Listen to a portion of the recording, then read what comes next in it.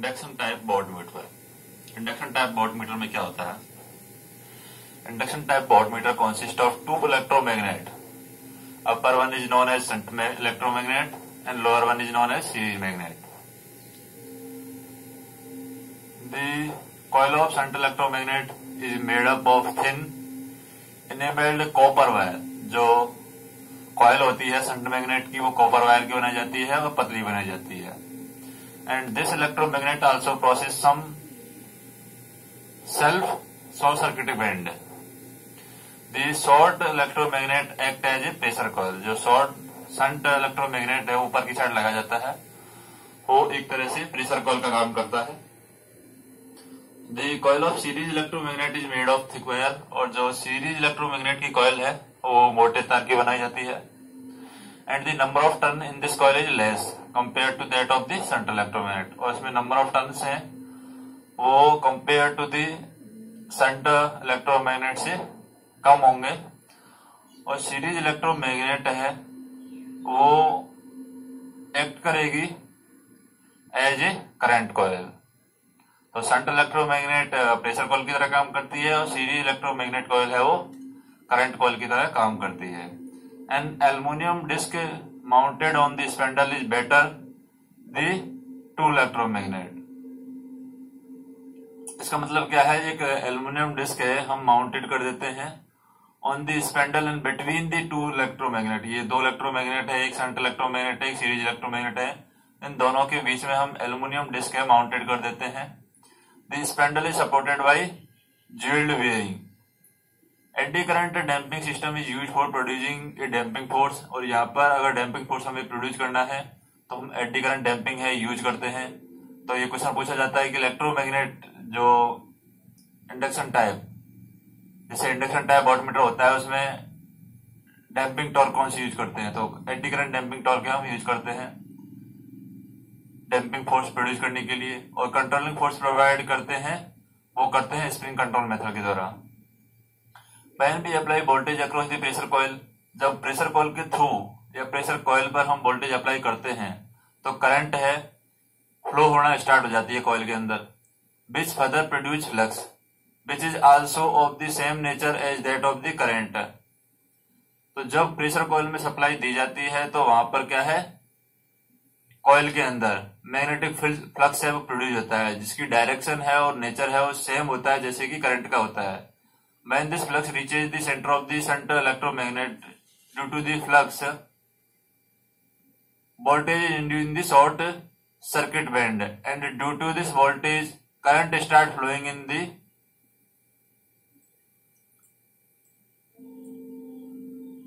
band which has its own flux phi 2 तो यहाँ पर हम सर्किट को देख लेते हैं देख ये एक संट मैग्नेट है संट इलेक्ट्रोमैग्नेट ये एक सीरीज़ इलेक्ट्रोमैग्नेट है। दोनों के बीच में एल्यूमिनियम की डिस्क स्पेंडल लगा दी है। जैसे हम संट मैग्नेट को वोल्टेज सप्लाई देते हैं तो जब इसमें करंट फ्लो होती है वोल्टेज सप्लाई देंगे तो इसमें करंट फ्लो होगी। करंट फ्लो होने की वजह से इलेक्ट्रोमैग्नेट प्रोड्यूस होगा। इलेक्ट्रोमैग्नेट प्रोड्यूस होने की वजह से जो मैग्नेटिक फ़ील्ड प्रोड्यूस होता है मैग्नेटिक फ़ील्ड जब ये शॉर्ट सर्किट बैंड पर पहुँचता है तो यहाँ पर एक फ्लक्स प्रोड्यूस होता है सेल्फ फ्लक्स प्रोड्यूस होता है, जिसे हम कहते हैं फाइव टू तो यहाँ पर एक फ्लक्स सेंटर में बैंड की वजह से, इनकी वजह से यहाँ पर फाइव टू फ्लक्स है, यहाँ पर प्रोड्यूस होगा। और यहाँ पर हो रहा है फाइव वन और यहाँ पर हो रहा है फाइव टू इन दोनों के बीच में डिफरेंस है। Difference of flux five one and five two produce rotating force और इन दोनों के बीच में जो डिफरेंस है फ्लक्स का, वो रोटेटिंग फोर्स में प्रोड्यूस करता है। जैसे कि मशीन के अंदर होता है मैग्नेटिक फ़ील्ड और इलेक्ट्रिक फ़ील्ड दोनों के बीच में डिफरेंस की वजह से मशीन रोटेट करने लगती है। उसी सिद्धांत के अनुसार यहाँ पर भी रोटेटिंग मैग्नेटिक फ्लक्स है, वो प्रोड्यूस होता है और रोटेटिंग फोर्स प्रोड्यूस होने की वजह से एल्यूमिनियम डिस्क है रोटेट होना स्टार्ट कर देती है। Since the spindle is connected to it the pointer also deflect on the scale to give the reading और इससे पॉइंटर है एल्यूमिनियम डिस्क की से ही पॉइंटर कनेक्टेड होता है स्पेंडल की एल्यूमिनियम डिस्क से। और इसी के थ्रू जब ये रोटेट करती है तो स्पेंडल भी रोटेट करेगा स्पेंडल के रोटेट करने से यहाँ पर पॉइंटर कनेक्टेड होता है और पॉइंटर भी डिफ्लेक्ट करेगा, जिससे हमें रीडिंग प्राप्त होगी। अब देखते हैं मेज़रमेंट ऑफ़ एनर्जी एनर्जी का मेज़रमेंट कैसे किया जाएगा? Energy is measured by induction type energy meter The arrangement for which is shown in figure below it also operation is divided into four part. तो जो मेज़रमेंट ऑफ़ एनर्जी है इसको four part में divide किया गया है। Induction type energy metre से हम एनर्जी मेज़रमेंट करते हैं। इसको फोर टाइप्स में डिवाइड किया गया है। फोर पार्ट के अंदर डिवाइड किया गया है। कंस्ट्रक्शन इसकी सेम है जैसे कि इलेक्ट्रोमैग्नेट यहाँ पर लगाई गई है, यहाँ पर हम सप्लाई देते हैं। यहाँ पर शॉर्ट सर्किट बैंड भी लगाए गए हैं। ये ब्रेकिंग मैग्नेट है यहाँ पर। सेंटर के अंदर ब्रेकिंग मैग्नेट है। नीचे सीरीज़ मैग्नेट है। और ये लेमिनेटेड कोर है। और ब्रेकिंग मैग्नेट के अकॉर्डिंग जो स्पीड है एनर्जी टाइप एनर्जी मीटर की इंडक्शन टाइप एनर्जी मीटर की वो डिसाइड की जाती है। सबसे पहले देखते हैं हम। इसको चार पार्ट में डिवाइड किया गया। सबसे पहले देखते हैं driving system. The driving system consist to electromagnet. एक इलेक्ट्रोमैग्नेट होता है सीरीज़ इलेक्ट्रोमैग्नेट होता है। The number of turns in the coil of central electromagnet is more than the number of series electromagnet जो नंबर ऑफ़ टर्न है central electromagnet में ज़्यादा होंगे, जबकि सीरीज़ इलेक्ट्रोमैग्नेट में कम होंगे। The coil of series electromagnet has negligible resistance and since it carries the load current the coil known as current coil और जो सीरीज़ इलेक्ट्रोमैग्नेट है, इसका रेजिस्टेंस बहुत कम होता है, इस वजह से ये लोड करंट को ले जाने के लिए काम आती है। इसलिए हम इसे करंट कॉल भी कह सकते हैं। And the coil of the central electromagnet is connected across the supply and therefore it carries a current which is proportional to the voltage it is known as pressure coil और जो coil है central electromagnet वो supply के through connected की जाती है। इसका मतलब क्या है? ये करंट उस करंट को ले जाती है जो वोल्टेज के प्रोपोर्शनल है। इसलिए हम इसको कहते हैं pressure coil short circuit band are also provided on the central electromagnet in order to provide the some phase difference और ये फ़ेज़ डिफरेंस प्रोवाइड करने के लिए हम सेंट्रल इलेक्ट्रोमैग्नेट में शॉर्ट सर्किट बैंड देते हैं। अगर ये हम नहीं देते हैं तो दोनों के अंदर फ्लक्स है, वो सेम आ जाएगा, दोनों का जो फ्लक्स सेम आ जाएगा तो पॉइंटर डिफ्लेक्ट नहीं करेगा। इस वजह से हम शॉर्ट सर्किट बैंड है संट मैग्नेट में प्रोवाइड करवा देते हैं। अब देखते हैं दूसरा system moving system driving system के बाद आता है moving system moving system consist of disc moving system में जैसे डिस्क है एल्यूमिनियम डिस्क लगाई जाती है। Which is mounted on lightly alloy shift the disc is made of aluminium which is not magnetic but is a conducting material तो जो aluminium है conducting material है, लेकिन मैग्नेटिक मटेरियल नहीं है। तो ये मूविंग सिस्टम में हम एल्यूमिनियम डिस्क को यूज़ करते हैं। अब देखते हैं इसके बाद में। The disc is position in between the air gap of centre magnet and series electromagnet तो इन दोनों के बीच में ये डिस्क माउंटेड की जाती है। जो ईयर गैप होता है दोनों के बीच में, उसमें ये डिस्क माउंटेड की जाती है। अब देखते हैं तीसरा सिस्टम है ब्रेकिंग सिस्टम ब्रेकिंग सिस्टम क्या काम करता है? At the edges of aluminium disc a permanent magnet is position which form the braking magnet braking system of the instrument it control the speed of aluminium disc तो ये aluminium disc की speed को control करने के लिए काम आता है। The disc act as a current carrying conductor placed in the magnetic field तो ये डिस्क है। ये करंट कैरिंग कंडक्टर की तरह काम करती है मैग्नेटिक फ़ील्ड के अंदर। Of permanent magnet hence the voltage induced due to which the current is produced the current produced the braking torque and by adjusting the position of permanent magnet we can change the braking torque and hence the speed of disk. तो हम इसकी speed है braking torque को move करके हम इसकी speed को कम ज़्यादा कर सकते हैं। जैसे कि अगर हम इसमें ये ब्रेकिंग मैग्नेट है ब्रेकिंग मैग्नेट को अगर हम इसको मूव करते हैं तो ब्रेकिंग मैग्नेट को मूव करने के अकॉर्डिंग जो एल्यूमिनियम डिस्क है, ये एल्यूमिनियम डिस्क है और ये ब्रेकिंग मैग्नेट है। अगर इसको मूव करते हैं तो जैसे जैसे मूव करेंगे, वैसे वैसे इसकी स्पीड को कंट्रोल किया जा सकता है। तो कभी जब एनर्जी, जो घरों में मीटर लगा होता है, जब वो ज़्यादा मीटर देता है, ज़्यादा रीडिंग देने लग जाता है या स्पीड से भागने लग जाता है तो उसमें इस प्रॉब्लम की वजह से ये ज़्यादा रीडिंग देता है या कम रीडिंग देता है। लेकिन ब्रेकिंग मैग्नेट की वजह से ज़्यादा रीडिंग या कम रीडिंग इसी ब्रेकिंग मैग्नेट की प्रोसेस की वजह से देता है The current produces a braking torque and by adjusting the position of permanent magnet we can change the braking torque and reduce the speed of the disc इससे हम जिसकी स्पीड को भी कंट्रोल कर सकते हैं अब देखते हैं रजिस्टरिंग सिस्टम रजिस्टरिंग सिस्टम क्या होता है एक gear arrangement is there in the instrument which is in spindle. Spindle के अंदर एक गियर अरेंजमेंट होता है। It continuously record the number which is proportional to the regulation made by the moving system तो यहाँ पर ये कंटिन्यूसली क्या करता है? उस नंबर्स को रिकॉर्ड करता है, जो मूविंग सिस्टम के द्वारा लिए गए हैं, या मूविंग सिस्टम के प्रोपोर्शनल होते हैं। It continuously record the number which is proportional to the revolution made by the moving system. अब देखते हैं instrument instrument transformer instrument transformer होते क्या है?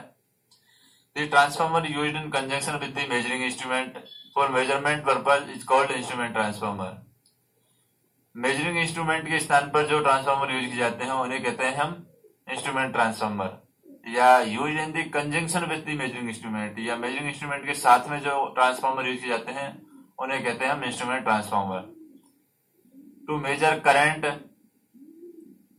current transformer are use and to measure voltage potential transformer are use तो ये दोनों instrument transformer कहलाते हैं। जैसे करंट ट्रांसफॉर्मर क्या है? जैसे प्राइमरी है सेकेंडरी है और ये करंट ट्रांसफार्मर का उदाहरण है। जैसे current transformer high very high current में कोई मेज़रमेंट करने के लिए करंट ट्रांसफार्मर यूज़ करते हैं। Current transformer such a transformer use to measure the current it is a step up transformer तो करंट ट्रांसफार्मर क्या होता है? बेसिकली कि स्टेप अप ट्रांसफार्मर होता है, जिसकी primary binding is connected to the line whose current is to be measured and it secondary binding connected to the ammeter तो इसकी सेकेंडरी वाइंडिंग को एमीटर से कनेक्ट किया जाता है प्राइमरी वाइंडिंग को उससे कनेक्ट किया जाता है, जिसका हमें करंट मेजर करना है। तो ये बेसिकली करंट ट्रांसफॉर्मर क्या होता है? कि स्टेप अप ट्रांसफॉर्मर होता है। The ammeter gives a reading and this reading when multiply by transformation ratio gives the value of line current which has following through the line तो जब ammeter जो reading देता है, अब इस रीडिंग को हम ट्रांसफॉर्मर के रेशियो मल्टीप्लाई कर देते हैं। तो हमें जो लाइन है, जिसकी हमें करंट मेजर करनी है, उसकी एक्चुअल वैल्यू पता चलती है। By using CT by using current transformer measurement is carried out using a low rating of ammeter यानी लो रेटिंग के एमीटर से भी हम हाई करंट को मेज़रमेंट कर सकते हैं। किस कॉन्फ़िगरेशन के द्वारा? करंट ट्रांसफॉर्मर कॉन्फ़िगरेशन के द्वारा। अब देखते हैं पोटेंशियल ट्रांसफॉर्मर पोटेंशियल ट्रांसफॉर्मर क्या होता है? Such a transformer is use to measure the voltage तो पोटेंशियल ट्रांसफॉर्मर है वोल्टेज मेज़रमेंट के लिए यूज़ करते हैं हाई वोल्टेज मेज़रमेंट के लिए यूज़ करते हैं। यानी लो रेटिंग के वोल्टमीटर से हम हाई वैल्यू का वोल्टेज है, वो हम मेजर कर लेते हैं। Such a transformer is use to measure the voltage it is a step down transformer तो ये क्या है कि स्टेप डाउन ट्रांसफॉर्मर की तरह काम करता है primary is connected to the line whose voltage to be measured यानी इसकी प्राइमरी को उस लाइन से कनेक्ट किया जाता है जिसका वोल्टेज हमें मेजर करना है its secondary wand is connected to the voltage as shown in figure and the voltage gives the reading and this reading is uh, multiplied to the transformation ratio and then they gives the reading of line voltage तो ये potential transformer का configuration है, या lower step down transformer की तरह ये work करता है। By using potential transformer, measurement is carried out using a low rating of voltmeter and insulation requirement for measuring such high voltage is minimized. और जो इंसुलेशन रिक्वायरमेंट है, इस तरीके के वेरी हाई वोल्टेज मेज़रमेंट के लिए वो मिनिमाइज हो जाएगा, क्योंकि हम यहाँ पर स्टेप डाउन ट्रांसफॉर्मर यूज़ कर रहे हैं और स्टेप डाउन ट्रांसफॉर्मर के लिए जो इंसुलेशन रिक्वायरमेंट है सेकेंडरी वाइंडिंग पर वो कम कम होगा। तो इंसुलेशन का भी यहाँ पर फ़ायदा हो जाएगा, क्योंकि इंसुलेशन हम डायरेक्टली वोल्टेज के प्रोपोर्शनल करते हैं। अब देखते हैं ब्रिज ब्रिज क्या होता है? This bridge is use to measure the medium resistance and arrangement is figure यानी जो ब्रिज होते हैं ब्रिज में एक आता है हमारे पास बेटिस्टोन ब्रिज बेटिस्टोन ब्रिज क्या काम करता है? मीडियम रेजिस्टेंस मेज़रमेंट के लिए उपयोग होता है। मीडियम रेजिस्टेंस मेज़रमेंट के लिए उपयोग होता है और उसका जो कॉन्फ़िगरेशन है बेटिस्टोन ब्रिज का, वो इस तरीके से है। यानी पी क्यू आर एस तो एस अननोन रेजिस्टेंस है, इसको हमें मेजर करना है। तो बेटिस्टोन ब्रिज से हम मीडियम रेजिस्टेंस मेज़रमेंट कर सकते हैं। यहाँ पर पी और क्यू है नॉन रेजिस्टेंस है, जिन्हें रेशियो आर्म कह सकते हैं। और एस है नॉन वेरिएबल रेजिस्टेंस है एस और आर है अननोन रेजिस्टेंस और के वी और के जी है बैटरी और गैल्वेनोमीटर की की है। ये बैटरी की की है, और ये गैल्वेनोमीटर की की है। तो गैल्वेनोमीटर लगा हुआ है सेंटर के अंदर ये सप्लाई वोल्टेज है value of unknown resistance when bridge is balanced तो अननोन रेजिस्टेंस की वैल्यू क्या होगी? जब ब्रिज बैलेंस होगा तो आर की वैल्यू क्या होगी? P by Q into S तो पी बाई क्यू इंटू क्या होता है? आर वाई एस होता है। तो एस यहाँ पर मल्टीप्लाई हो जाएगा तो आर की वैल्यू कैसे आ जाएगी? P by Q into S इससे हम आर की वैल्यू है निकाल लेते हैं। अब आता है कैलविन डबल ब्रिज ये कैलविन डबल ब्रिज किस काम आता है? तो कैलविन डबल ब्रिज है, ये यूज़ किया जाता है लो रेजिस्टेंस को मेज़रमेंट करने के लिए, जबकि विटिस्टन ब्रिज हम मीडियम रेजिस्टेंस मेज़रमेंट के लिए यूज़ कर रहे हैं, जबकि कैलविन डबल ब्रिज है लो रेजिस्टेंस को मेज़रमेंट करने के लिए उपयोग आता है। इसमें ये सेम सिस्टम होता है P Q first ratio first set of ratio arm और इसमें दो दो सेक्शन लगे हुए हैं, जैसे कि पी क्यू और यहाँ पर स्मॉल पी क्यू लगा हुआ है, और ये आर और एस है, ये वेरियल ग्रुप में लगे हुए हैं। और गैल्वेनोमीटर यहाँ पर लगा हुआ है। तो ये है हमारा कैलविन डबल ब्रिज इसमें वही सेम रेशियो जैसे पी वाई क्यू है और ये कैपिटल का पी वाई क्यू है। ये आर और आर एस के अकॉर्डिंग हम इसको देखते हैं। एस है यहाँ पर नॉन वेरिएबल रेजिस्टेंस और आर है अननॉन वेरिएबल रेजिस्टेंस और इसको पी वाई क्यू है, ये कैपिटल पी वाई क्यू के इक्वलेंट होगा। इनको दोनों को पैरेलल में भी हम कनेक्ट कर सकते हैं। इससे भी मीडियम रेजिस्टेंस मेज़रमेंट किया जाता है। तो इसमें जो आर की वैल्यू है वो सेम होगी। The value of unknown resistance is when the bridge is balance condition तो आर की वैल्यू है P by Q into S होगी।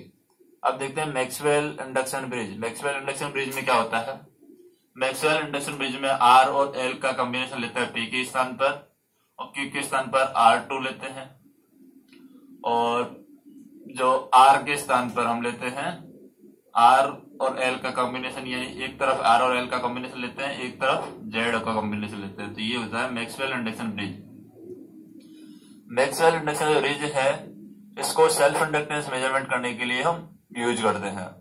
सेल्फ इंडक्टेंस अगर हम मेज़रमेंट करना है तो हम मैक्सवेल इंडक्शन ब्रिज का उपयोग करेंगे। The bridge is use to measure the self inductance and R one is resistance of the coil unknown resistance है आर वन कोयल का। एल वन है वो है इंडक्टेंस ऑफ़ द कोयल है। ये भी अननोन हमारे लिए आर वन भी अननोन है और एल वन भी अननोन है। और आर टू और आर फोर है। जैसे ये आर टू है, ये वाला आर टू है और ये आर फोर है। ये क्या है? नॉन नॉन इंडक्टिव रेजिस्टेंस है। ये नॉन इंडक्टिव रेजिस्टेंस है आर टू और आर फोर और आर थ्री है वेरिएबल रेजिस्टेंस है यहाँ पर। और एल थ्री नॉन इंडक्टेंस है।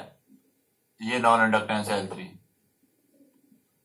और आर थ्री है, जो स्मॉल आर थ्री है। ये इंटरनल रेजिस्टेंस है एल थ्री का। एल थ्री का इंटरनल रेजिस्टेंस है small R three at balance condition में क्या होगा? बैलेंस कंडीशन में जैसे कि आर वन की वैल्यू है। आर वन की वैल्यू कैसे निकलेगी? जैसे यहाँ पर ये आर वन की वैल्यू निकालनी है। तो आर वन की वैल्यू निकालने के लिए हम R two by R four होगा। यानी कि ये सेक्शन है R two by R four ये होगा और इसको मल्टीप्लाई कर देंगे R three plus small R three से। तो R three plus small R three से इसको मल्टीप्लाई करेंगे। तो ये होता है हमारे पास में आर वन इसी तरीके से एल वन निकालना है तो एल वन की वैल्यू कैसे निकलेगी? एल थ्री एल थ्री से मल्टीप्लाई करेंगे। आर टू आर फोर को मल्टीप्लाई करेंगे, ये एल वन की वैल्यू निकल जाएगी। और क्यू फैक्टर क्या होगा? Omega L three divide by R three plus small R three इससे क्यू फैक्टर हम इसका निकाल लेते हैं मैक्सवेल इंडक्शन ब्रिज का। अब देखते हैं पोटेंशियोमीटर पोटेंशियोमीटर का काम करता है।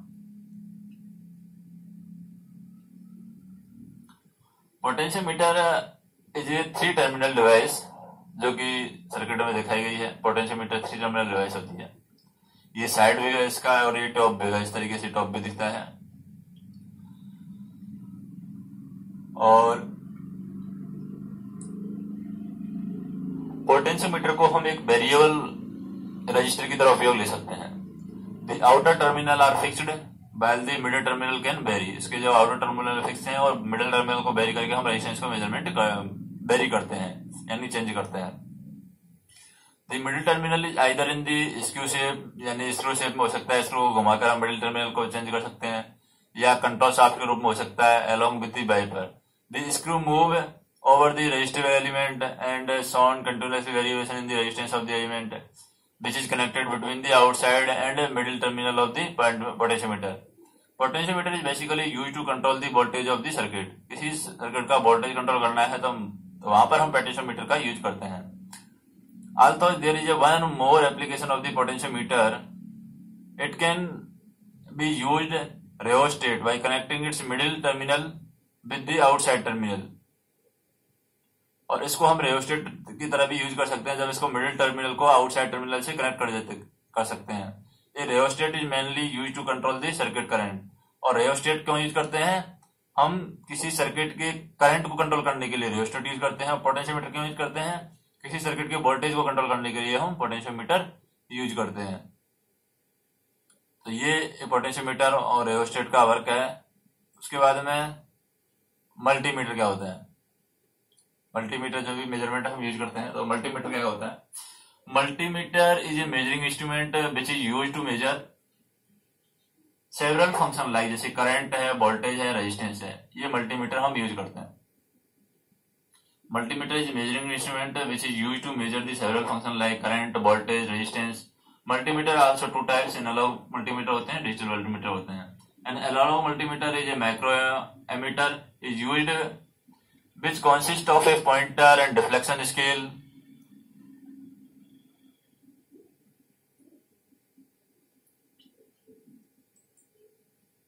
Multimeter are also two types, analog and digital. In an analog multimeter, a micrometer is used which consists of a pointer and deflection scale. Whereas in digital multimeter, the measured value is displayed in numerical on a digital screen. Display can either भी seven segment format और liquid crystal display भी हो सकती है LCD type में हो सकती है। नाउ डे आजकल जो डिजिटल मल्टीमीटर यूज़ किए जाते हैं over analog all types of measurement are use for digital multimeter जो आजकल जो मल्टीमीटर यूज़ किए जा रहे हैं, वो सारे डिजिटल मल्टीमीटर यूज़ किए जा रहे हैं, ज़्यादातर एमीटर यूज़ नहीं किए जाते हैं। गाड़ियों में भी हम डिजिटल मल्टीमीटर यूज़ कर रहे हैं। बल but analog multimeter are still use when we have to monitor the value which rapidly vary over a wide range तो बहुत ज़्यादा रेंज में अगर वैल्यू वेरी कर रही है तो वहाँ पर हम आजकल भी या अभी भी हम एनालॉग मल्टीमीटर ही यूज़ करते हैं। Main application of multimeter multimeter की एप्लीकेशन मेन एप्लीकेशन क्या है? Measurement of AC and DC measurement voltage and current measurement of resistance and testing of continuity in the circuit circuit में continuity को test करने के लिए भी हम मल्टीमीटर का उपयोग करते हैं। क्यूमीटर क्या होते हैं? Q meter is a device which is use to determine the quality factor of the circuit किसी सर्किट की क्वालिटी फैक्टर अगर हमें पता करना है तो हम क्यूमीटर का यूज़ करते हैं। Generally this device is use in radio frequency circuit ये रेडियो फ्रीक्वेंसी सर्किट में यूज़ की जाएगी where it is desirable to know how much amount of energy dissipated form of from the system तो radio frequency circuit में ये ये पता करने के लिए उपयोग की जाती है कि कितनी अमाउंट में एनर्जी है, वो सिस्टम में नॉन आइडियल रेजिस्टिव फॉर्म में कितनी एनर्जी है डिसिपेटेड हो रही है। Q factor is given by two pi into peak energy store divide by energy dissipated per cycle इससे हम क्यू फैक्टर है निकालते हैं। Two pi into peak energy stored and divide by energy dissipated per circle अब देखते हैं। क्यूमीटर के बाद में क्या है? क्यूमीटर के बाद में आता है हमारे पास में जो एरर के एनालिसिस है। मेज़रमेंट में एरर ही आती है तो कौन कौन सी एरर आती है? There are three basic types of the error which are obtained while taking the measurement in the lab in any electrical system these are random error systematic error और gross error तीन प्रकार की error होती है। Random error होती है systematic error होती है, और ग्रॉस एरर भी होती है। रैंडम एरर क्या होती है? दोज अनकंट्रोल और uncertain fluctuation which randomly affected the result of experiment are called random error. ऐसी एरर या अनकंट्रोल एरर जिसे हम कंट्रोल नहीं कर सकते अनसर्टेन जो जिनका कोई पता नहीं है कब आने वाली है फ्लक्चुएशन की वजह से आ सकती है, वो कहलाती है हमारी रैंडम एरर जो हमारे एक्सपेरिमेंट के रिज़ल्ट को अफेक्ट करती हैं। उन्हें कहते हैं हम रैंडम एरर एग्ज़ाम्पल के लिए include the change in temperature temperature में हम कोई परिवर्तन नहीं कर सकते टेम्परेचर में चेंज हो जाता है, उसकी वजह से एरर आ जाती है। Due to the sunlight around the temperature sensor और टेम्परेचर सेंसर के आसपास जो सनलाइट का वेरिएशन है, उसकी वजह से भी एरर आती है। एयर फ्लैक्चुएशन की वजह से भी एरर आती है। Air fluctuation close by opening and closing of the door तो डुअर के ओपनर क्लोज करने से जो एयर फ्लैक्चुएशन आता है, उसकी वजह से भी एरर आ जाती है। This error type is difficult to remove but it can be solve by calculating the estimated standard deviation of the collected data estimated standard deviation से हम इसको थोड़ा बहुत मिनिमाइज कर सकते हैं, यानी एस्टिमेट करके हम इसको रिमूव कर सकते हैं, लेकिन डायरेक्टली इसको रिमूव करना थोड़ा डिफ़िकल्ट है। इसलिए हम क्या करते हैं स्टैंडर्ड या डेटा को कलेक्ट करके एक स्टैंडर्ड डेविएशन प्राप्त कर लेते हैं, और उसको माइनस करके हम इसको थोड़ा सॉल्व कर सकते हैं। फिर है सिस्टमेटिक एरर सिस्टमेटिक एरर क्या होती है? इंस्ट्रूमेंट मिस्टेक ये इंस्ट्रूमेंट की मिस्टेक की वजह से ये सिस्टमेटिक एरर होती है। मेथोडोलॉजी की वजह से भी ये इंस्ट्रूमेंट हो सकती है पर्सनल मिस्टेक की वजह से भी ये एरर हो सकती है। फॉल अंडर दिस कैटेगरी जैसे कि कोई ने अपनी खुद की गलती से भी ये एरर हो सकती है। इंस्ट्रूमेंट की मैन्युफैक्चरिंग डिफेक्ट की वजह से भी सिस्टमेटिक एरर हो सकती हैं। और मेथोडोलॉजी हम गलत अप्रोच अगर मेज़रमेंट के लिए अप्लाई कर रहे हैं तो वो भी सिस्टमेटिक एरर के अंदर आती है। Instrument error can be used in many ways for example improper placement of device यानी डिवाइस कोई ऐसी है जिसको हॉरिजेंटली वर्क करना है, लेकिन हम इसको वर्टिकली वर्क करवा रहे हैं या 45 डिग्री पर वर्क करवा रहे हैं तो वो एरर है, वो सिस्टमेटिक एरर देगी। And methodology error are caused because the selection of the wrong alternative for the experiment अगर हम गलत अप्रोच मेज़रमेंट के लिए उपयोग कर रहे हैं तो वो भी सिस्टमेटिक एरर हमें देती है। पर्सनल मिस्टेक की वजह से observer performer like noting down incorrect reading अगर अच्छी तरीके से वो रीडिंग को नोट नहीं कर रहा है 4.5 की जगह 4.6 नोट कर रहा है। तो इस वजह से भी सिस्टमेटिक एरर है, वो आ सकती है पर्सनल मिस्टेक की वजह से। तो ये एरर हैं, ये सिस्टमेटिक एरर की कैटेगरी में डाली जाती हैं। These error can be easily eliminated by careful observation अच्छी तरीके से ऑब्जर्वेशन करेंगे प्रॉपर ऑपरेशन करेंगे तो इन एरर को हम रिमूव कर सकते हैं। फिर आती है gross error this error is use either by instrument failure और careless of the experiment gross error भी आती है इंस्ट्रूमेंट के फेलियर की वजह से आती है, या केयरलेसनेस या सावधानी से अगर एक्सपेरिमेंटर वर्क नहीं कर रहा है तो उस वजह से भी ग्रॉस एरर आ सकती है। In order to minimize these error setup set of recent measurement must be taken by experimenter तो सेट ऑफ़ रीसेंट मेज़रमेंट है एक्सपेरिमेंटर के द्वारा लिया जाना चाहिए, इससे हम ग्रेस एरर को कम कर सकते हैं। अब देखेंगे इसकी एक्सरसाइज जो कि नेक्स्ट वीडियो में हम देखते हैं एक्सरसाइज क्या है इसके किस किस किस तरीके के क्वेश्चन इसमें लिए गए हैं।